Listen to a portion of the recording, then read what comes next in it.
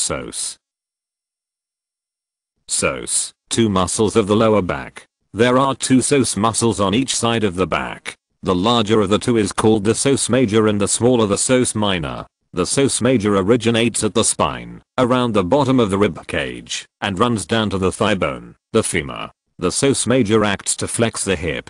The psoas minor also originates at the spine, around the bottom of the rib cage, but it runs down to the bony pelvis. The psoas minor acts to flex the lower, lumbar, spine. P S O S Psoas